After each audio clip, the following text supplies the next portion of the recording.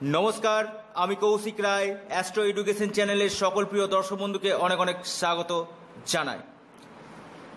তেরোই এপ্রিল আটটা চল্লিশ মিনিট থেকে বাইশে এপ্রিল আটটা চল্লিশ মিনিট পর্যন্ত এই সূর্য পরম তুঙ্গস্থ থাকবে এবং এরপরে মেষ রাশিতেই মিত্র ঘরে মিত্র ফল কিন্তু দিবে।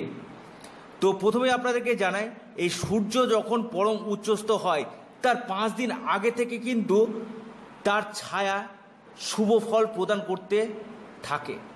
অর্থাৎ বেনিফিটগুলো কিন্তু আমরা আট তারিখ থেকে কিছুটা হলো অল্প অল্প করে পাব। দেখুন, আপনাদেরকে সায়েন্টিফিক সায়েন্টিফিক ওয়েতে বোঝায় সূর্য কোনো দিন উচ্চস্থ হয় না, এই পৃথিবী উচ্চস্থ হচ্ছে। অর্থাৎ পৃথিবী একটা চরম উচ্চস্থ হচ্ছে, যার ফলে পৃথিবী কিন্তু মুভমেন্ট করে, সূর্য কিন্তু মুভমেন্ট করে না। কিন্তু আমরা জ্যোতিষশাস্ত্রে সূর্যকেও গ্রহ হিসাবে গণ্য করে থাকি। অর্থাৎ পৃথিবী যখন পরম উচ্চস্থ হচ্ছে, সেক্ষেত্রে কি হবে?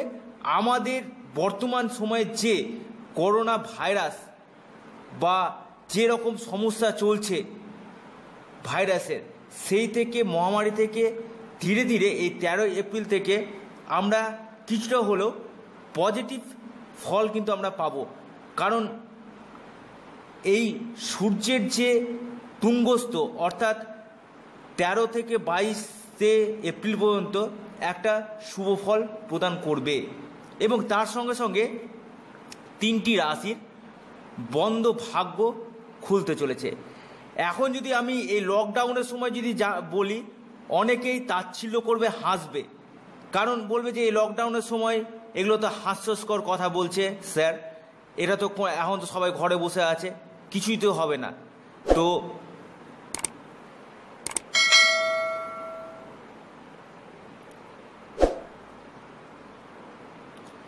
জ্যোতিষ বিচার হয় স্থান, কাল, পাত্র, দেশ অনুযায়ী।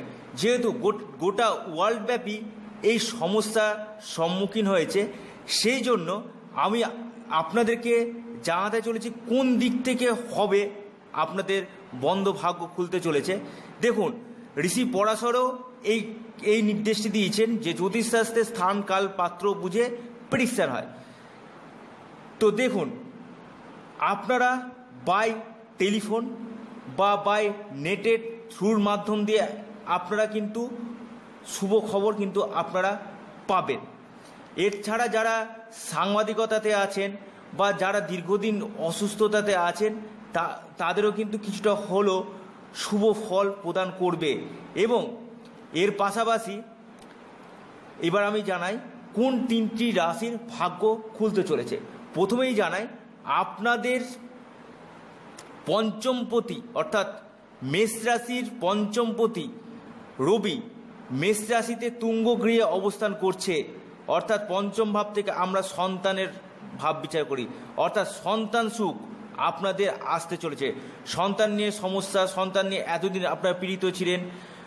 আপনাদের, এর মধ্যে যাদের ডেলিভারি হওয়ার কথা, তাদের কিন্তু এই লকডাউন থাকা সত্ত্বেও কিন্তু ডেলিভারি কিন্তু হবেই সেক্ষেত্রে কিন্তু কোনো বাধা আসবে না।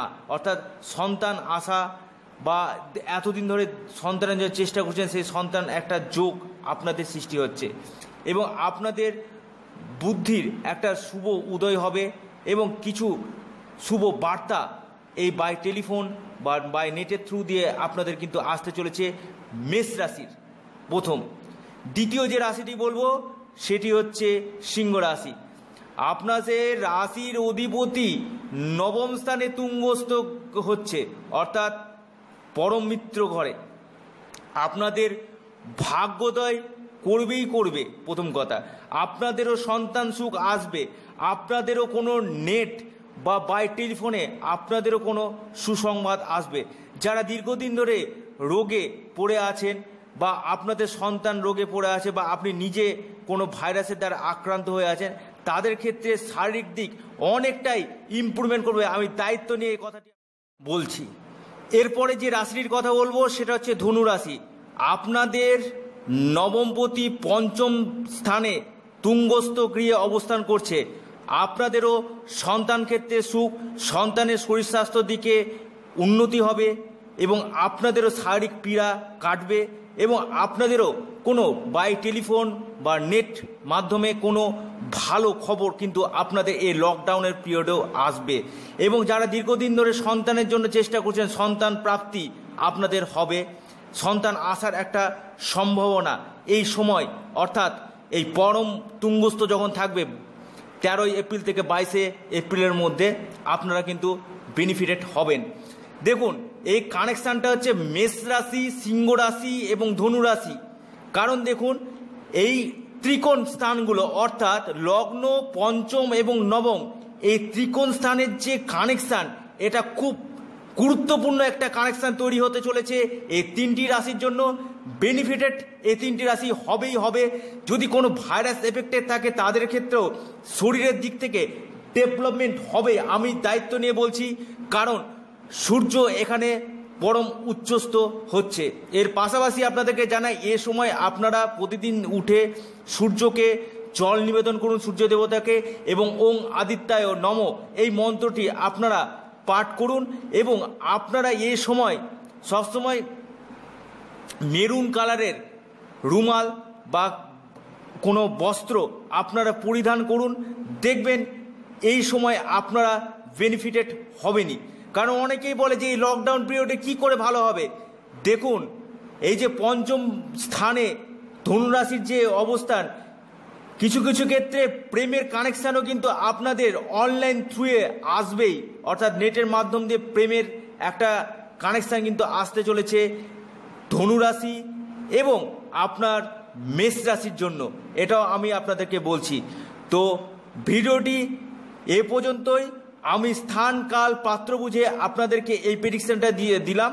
প্রত্যেকেই দেখুন, মিলছে কিনা এবং এর পাশাপাশি আমি যে ক্রিয়াটি বললাম সে ক্রিয়াটি আপনারা করুন। আপনাদের বন্ধ ভাগ্য খুলবেই খুলবে। আমি দায়িত্ব নিয়ে বলছি, নমস্কার, ধন্যবাদ।